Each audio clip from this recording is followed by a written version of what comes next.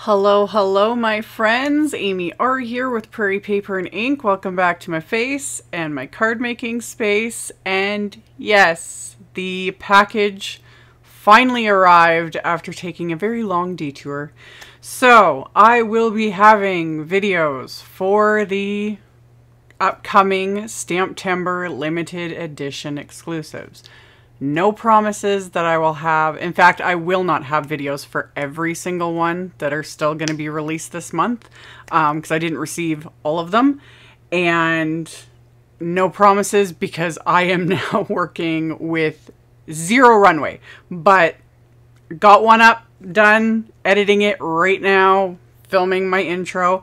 For those not aware, the STAMPtember limited edition exclusive collaborations are only available from Simon Says Stamp while supplies last through the month of September. So either they sell out or they are just discontinued at the end of the month, which is very, very rare. And once they're gone, they're not restocked. Um, I will link though to um, the brand that is doing the collaboration with each video because there's always like so much inspiration, so many other products, etc. This is all just for fun and sharing inspiration and collaborations and all the fun things. And yeah, I think that's enough of the housekeeping. As always, links to everything will be in the description box below. The sets I used and all of the supplies, etc., etc. That'll be below as long as as well as links to my social media like my Facebook page, Instagram, my Patreon, etc. That's all below as well. But that's enough of an intro. Let's get into making the card. So this limited edition collab is with Alex Syberia Designs, who is a fairly new company. They are they are sort of brand new. They came onto the scene a year ago, last year, something like that. Um, I've been a fan of their stuff for a while now. I was kind of excited that Simon started carrying their products a few months ago, and uh, stay tuned. I might have more projects coming using uh, this brand in future videos. But uh, yeah, like I said, I'll have a link to the line in the description box below the video for you guys to check out because they've got a kind of a unique take on a lot of things and I love it. I love it. I love seeing new people getting into card making, new brands, all of it. It's fun. So, this is the A New Dream stamp set. And y'all know, big florals. I was like, perfect, perfect. Love it already.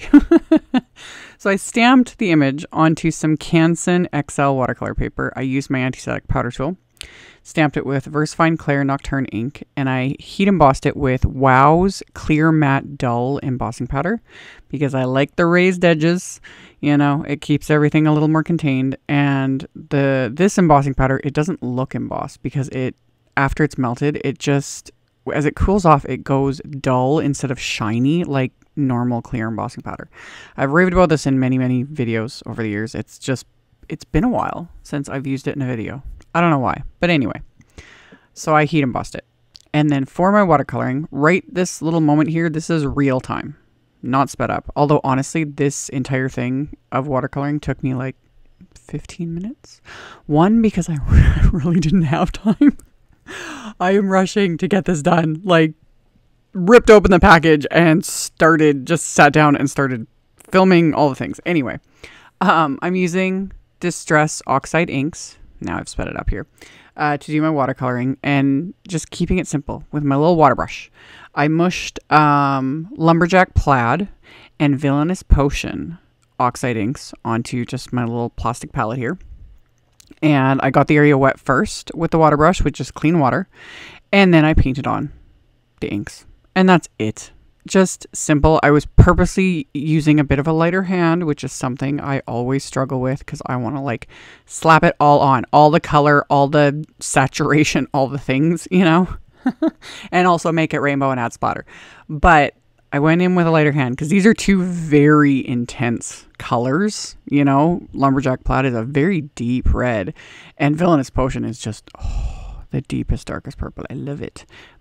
I went in with that lighter hand, so I get that like purpley, browny, like, you know, almost maroon sort of color on these blooms. And then for the greenery, I went with my just oldie but goodie favorite, Rustic Wilderness and Twisted Citron. I still don't know what it is about these two colors mixed together. They just, it's just perfect and I love it. So, same thing. Got the areas wet with water and then just picked up the color with my little water brush and basically slapped it on. So, after I added a little bit more to some of the petals, just just a smidge. I didn't want to overdo it. You know, I didn't want to go in and add more than I could handle, sort of a thing. And then set that aside. And for my background, I used Simon Says Stamps uh, Rhythm Link Pinpoint. Yeah, Rhythm Link Pinpoint Plate. So this just pierces a pattern into this background. So it just kind of gives it a little extra something. And then I use salvaged patina distress oxide ink and a blending brush and concentrate that towards the bottom and then kind of blended it out basically to white towards the top. And I was just using a bit of post-it tape there so I'm not getting fingerprints along the bottom with um, in that ink. And then after I had done the blend, I put this in my splat box, of course, and I'm going to use Merry Mint Distress Mica Stain, which, one, always have to shake up the mica stains, shake them up really, really, really, really, really well. Make sure to get all that mica dispersed so that you don't clog the, um, the, the inner workings really. And when you first spray this, it looks much more green, but when it dries, it dries very close to salvage patina and shimmer and sparkle cannot go wrong. So after that dried, I trim this background down just a little bit so it'll be slightly smaller than an A2 card front. So I trimmed it down to like four inches by five and a quarter. And then the floral, I fussy cut because the the set is available as a set and as the set with dies again while supplies last. Um, but for me, getting the the product and everything else, I rarely get any of the coordinating wafer dies with the collabs, which is fine. I would rather just I would rather have something than nothing, especially after the ridiculousness of the last couple weeks. So I just fussy cut these and then I backed them with Simon's Big Mama foam tape, so it'll be popped up just a little bit, give it a little bit of dimension and I pulled out some of my uh, black and white doodle twine and I wrapped that around the background. And then, as always, grabbed my little reverse tweezers to hold that little knot in place so I can tie my bow. Because, especially with baker's twine, it does take practice. People comment about that a lot when I do show things like this. And it's like, you tie these bows so well. 20 years of practice, literally 20 years. And I cannot stress enough reverse tweezers for the win, especially when tying baker's twine because it's twisted. So it, it, it gets finicky, but I've done hundreds, if not thousands, of bows over the years, and I still struggle sometimes. I just edit that out of videos. but yeah, reverse tweezers for the win and and just practice you know? I, I used to struggle a lot back in the day. And i do have a video a really really old one. It's one of my original ones on my youtube channel. So like back in like 2009 or something like that. Um how to tie a bow with ribbon or i don't even know what it's called but yeah it's there. It's still there. All my old really really really old videos they're still there. So anyway after i um, adhered the florals i added more splatter of course. I just used some white gouache, watered it down a tiny bit, used my fan brush, splattered it. That will dry back so it won't be like harsh white. Like as it dries, it'll kind of soak up a little bit of the color underneath it because oxide inks, etc., are water reactive. So I set that background aside to dry, and then I took a scrap of black cardstock and I used my anti-static powder tool on that. And I stamped the Dream Big sentiment from that stamp set with white pigment ink coated it with detail white embossing powder. I'm going to melt that with my heat tool. And then while I have my, you know, MISTI out again, I'm going to stamp the inside of the card as well. So my card base is going to be a top folding A2 white uh, note card. And on the inside, I'm going to stamp that floral image with the salvaged patina distress oxide ink. And then after I stamp that, I'll stamp another sentiment from this set with the VersaFine Clair Nocturne ink. And as always, even with large images like this, when I stamp on the inside of the card, it is stamped with the intention that I will write directly over it. I won't write around it. I'll just write over it because the ex- the insides are just extra. You just got to have a little something, whether it be just a sentiment or sometimes, you know, I go all out and add, you know, die cuts and pattern paper and all the things. Just cuz. So, after I had the inside done, I took one of Simon's sentiment label wafer dies and I die cut that heat emboss sentiment.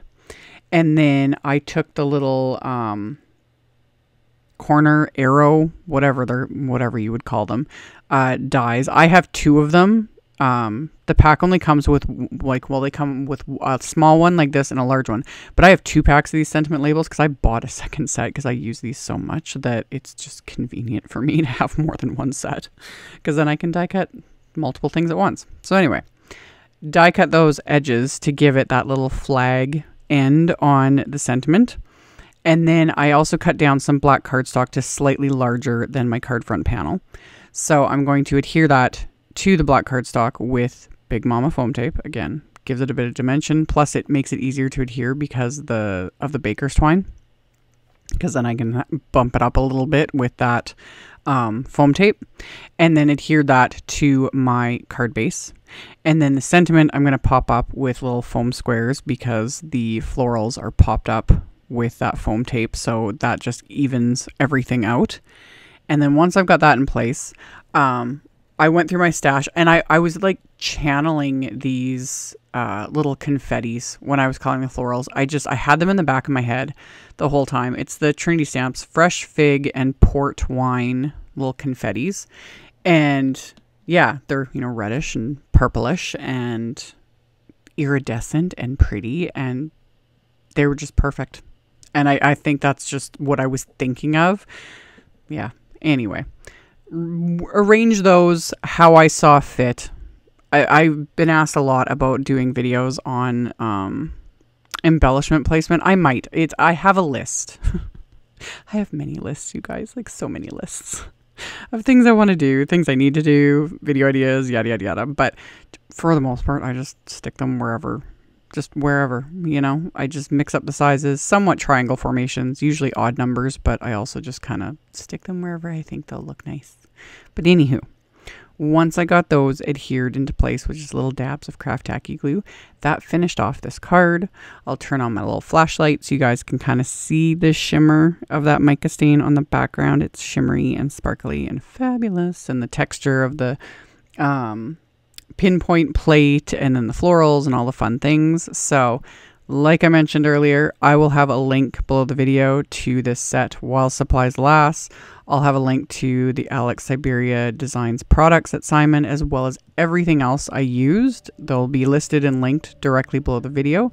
Thank you all so very much for taking the time to watch my videos, for thumbs upping, commenting, subscribe if you haven't. I'd love to have you, and I'll see you all very soon in the next one.